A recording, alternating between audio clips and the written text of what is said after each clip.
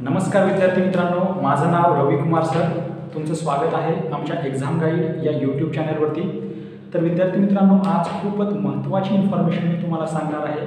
ती इन्फॉर्मेशन आहे ज्या आत्ता जस्ट म्हणजे दोन ते तीन दिवसापूर्वी ज्या जागा निघालेल्या आहेत पोस्टामध्ये. त्या पोस्टामध्ये ज्या जागा निघालेल्या आहेत त्या जागेची थोडक्यात मी तुम्हाला माहिती सांगणार आहे. तर पहा ही ड्युटी नेमकी कोणत्या स्वरूपाची असेल? याचं पण एक बेसिक तुम्हाला मी नॉलेज देणार आहे. तर डिपार्टमेंट ऑफ पोस्ट हे जे आपल्या केंद्र शासनाचं डिपार्टमेंट आहे त्यामध्ये या जागा आहेत. तर यामध्ये तीन पद्धतीच्या पोस्ट निघालेल्या आहेत विद्यार्थी मित्रांनो. एक आहे पोस्टमनची पोस्ट दुसरी आहे मेल गार्ड्स आणि तिसरी जी आहे ती आहे एम टी एस त्याला आपण मल्टीटास्किंग स्टाफ असं म्हणतोय. आता या पोस्टचं नेमकं स्वरूप काय आहे? याची इलिजिबिलिटी काय आहे? म्हणजे शैक्षणिक पात्रता काय आहे? कोण कोण फॉर्म भरू शकतं? याचं पेमेंट स्ट्रक्चर काय असेल? याचे परीक्षेचं स्वरूप काय आहे याचं एक तुम्हाला मी बेसिक नॉलेज देणार आहे. तर विद्यार्थी मित्रांनो शेवटपर्यंत हा व्हिडिओ पाहत राहा. तुम्हाला ज्या ठिकाणी काही डाऊट वाटला तर कमेंट बॉक्समध्ये कमेंट करायला विसरू नका. तर पहा पोस्टमेन या जी हे जे पद आहे या पदाचं जे काही बेसिक आहे विद्यार्थी मित्रांनो ते आहे एकवीस हजार सातशे ते एकोणसत्तर हजार शंभर रुपये. म्हणजे काय? तर एकवीस हजार सातशे ते एकोणसत्तर हजार शंभर हा जो बेसिक स्ट्रक्चर आहे पेमेंटचा त्या पेमेंटमध्ये या पदाला केंद्र शासनाने ठेवलेला आहे. ओके डिपार्टमेंट ऑफ पोस्ट या डिपार्टमेंटमध्ये तर पहा विद्यार्थी मित्रांनो कसं आहे? तर एकवीस जेव्हा तुम्ही या जॉबला लागता किंवा जॉईन होता त्यावेळेस तुमचं पेमेंट काय पडेल? तर याचं पेमेंट जे असेल ते नियर अबाउट एकवीस हजार सातशे जर बेसिक आपण कन्सिडर केलं तर या बेसिकनं तुमचं पेमेंट स्टार्ट होईल जेव्हा तुम्ही नोकरीला लागाल. आणि नियर अबाउट ऑर्डर अलाउन्सेस जर आपण ॲड केले तर अठ्ठावीस ते एकोणतीस हजार रुपये तुम्हाला पर मंथ यामध्ये पोस्टमेन या पदावरती तुम्हाला भेटतील. ओके हा डाऊट क्लिअर झाला. म्हणजे काय असतं बघा कुठल्याही पदाचं बेसिक जे काय असतं त्या बेसिकवरतीच त्या पदाचं पेमेंट डिपेंड असतं. हे लक्षात असू द्या. आणि जेव्हा तुम्ही नोकरीला लागता त्या नोकरीला लागल्यानंतर त्या पदाचं जे काही बेसिक आहे ते कुठून स्टार्ट होतं आणि मॅक्झिमम कुठं थांबतं? हे एक स्ट्रक्चर हे काय असतं? स्केल असते मित्रांनो. आणि या स्केलनुसार तुम्हाला ना पेमेंट भेटत असतं. तर जेव्हा सुरुवातीला कुठल्याही पोस्टवरती जाता तुम्ही तर त्या सुरुवातीला जे बेसिक तुम्हाला डिफाईन करून दिलेलं असतं तर त्या बेसिकला कन्सिडर करून ऑदर अलाउन्सेस ॲड करून त्याचं काय होतं? पेमेंट तुम्हाला भेटत असतं. आणि जसं जसं तुमची सर्व्हिस वाढत जाते त्या पद्धतीनं तुमचं बेसिक वाढत जातं आणि पेमेंट पण दरवर्षी काय होते? वाढत जाते. ओके तर हे क्लिअर आहे. तर पोस्टमन या पदाचं जे बेसिक आहे ते एकवीस हजार सातशे आहे. याच्यामध्ये जर केंद्र शासनाचे जर अलाउन्सेस आपण ॲड केले तर नियर अबाउट सुरुवातीला लागल्यानंतर तुम्हाला जवळपास अठ्ठावीस ते एकोणतीस हजार तुम्हाला इन हँड पेमेंट पडेल. तर आता दुसरी पोस्ट आहे मेल गार्ड्स आता ही मेल गार्ड्सची जी पोस्ट आहे ही नेमकी काय आहे? तर मेल गार्डचं सुद्धा बेसिक जे आहे ते एकवीस हजार सातशे ते एकोणसत्तर हजार शंभरच आहे. म्हणजे याचं सुद्धा पेमेंट जे पोस्टमेनला पडणार आहे तेवढंच पेमेंट पडेल. ओके? फक्त काय आहे तर जागा ज्या आहेत मेल गार्डच्या माझ्या माहितीत तो पंधरा जागा आहेत. ओके? आणि पोस्टमेनच्या जागा माझ्या माहितीत तो एक एक हजार एकोणतीस. ओके? तर चला मग हा मेल गार्डचा प्रकार कळाला तुम्हाला? तिसरं जे पद आहे ते एम टी एस म्हणजे त्याला मल्टीटास्किंग स्टाफ असं म्हणतो आपण.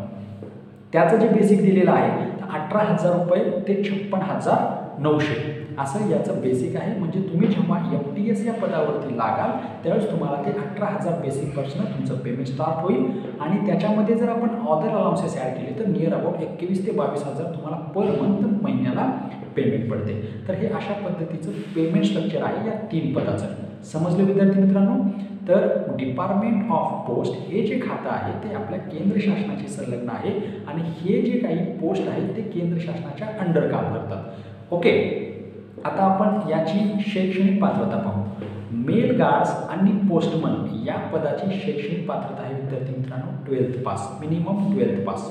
म्हणजे दहावीनंतर तुम्ही बा बारावी झालेला असलं पाहिजे किंवा दहावीनंतर तुमचा डिप्लोमा जरी झालेला असेल तर तुम्ही या पदाला अप्लाय करू शकता.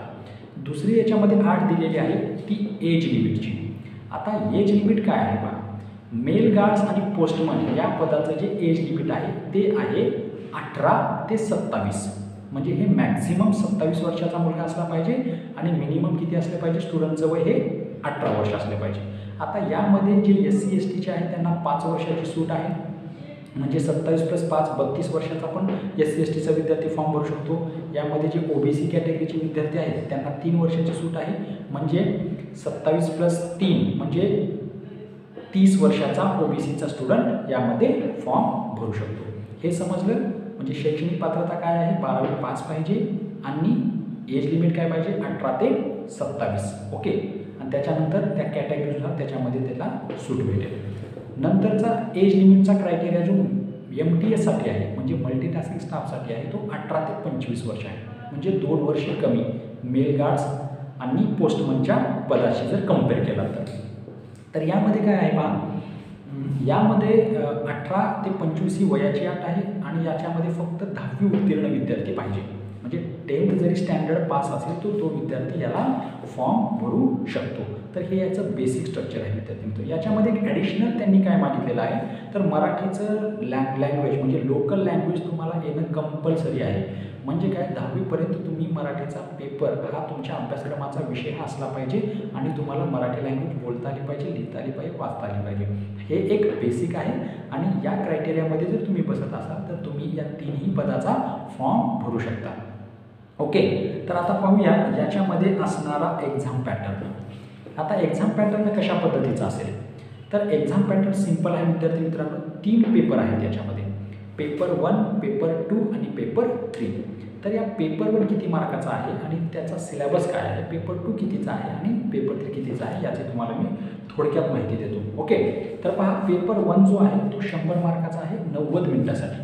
किती म्हणलं मी? शंभर मार्काचा पेपर आहे नव्वद मिनिट म्हणजे दीड तासाचा पेपर आहे. यामध्ये जनरल अवेअरनेस म्हणजे जनरल नॉलेजचे जे प्रश्न आहेत ते फक्त तीस आहेत. बेसिक अरिथमॅटिक जे तुम्ही पोलीस भरतीला अंकगणित करता त्यालाच आपण अरिथमॅटिक म्हणतो. जर समजून घेतला तर. ते चाळीस क्वेश्चन आहेत. आणि त्याच्यानंतर रिझनिंग म्हणजे आपण बुद्धिमत्ता म्हणतो त्याचे तीस क्वेश्चन आहेत. म्हणजे काय? जनरल नॉलेज तीस अरिथमॅटिक चाळीस आणि रिझनिंग तीस असा एक स्ट्रक्चर आहे. शंभर मार्काचा हा पेपर आहे. आणि याचा वेळ आहे नव्वद मिनिट त्याच्यानंतर दुसरा पेपर आहे साठ मिनिटाचा पंचेचाळीस सॉरी पंचेचाळीस मिनिटाचा पेपर आहे आणि साठ मार्काचा तो पेपर आहे. याच्यामध्ये काय आहे? चार पार्ट आहेत विद्यार्थी मित्र तुम्हाला काय करायचं आहे? ट्रान्सलेशन करायचं आहे. पहिल्या पार्टमध्ये तुम्हाला ट्रान्सलेशन करायचं आहे मराठी टू लोक Marathi sorry local language to English okay local language to English याचं तुम्हाला काय करायचं आहे? ट्रान्सलेशन करायचं आहे. पंधरा क्वेश्चन्स असतील त्याच्यामध्ये एक क्वेश्चनला एक मार्क असेल. ओके दुसरा पार्ट त्यांनी दिलेला आहे जसं तुम्ही लोकल लँग्वेजचं इंग्लिशमध्ये ट्रान्सफर केलं पंधरा मार्कासाठी तसंच सेकंड पार्टमध्ये इंग्लिशचं आता तुम्हाला लोकल लँग्वेजमध्ये ट्रान्सफर करायचं आहे. ते पण पंधरा क्वेश्चन असतील एक मार्कासाठी एक.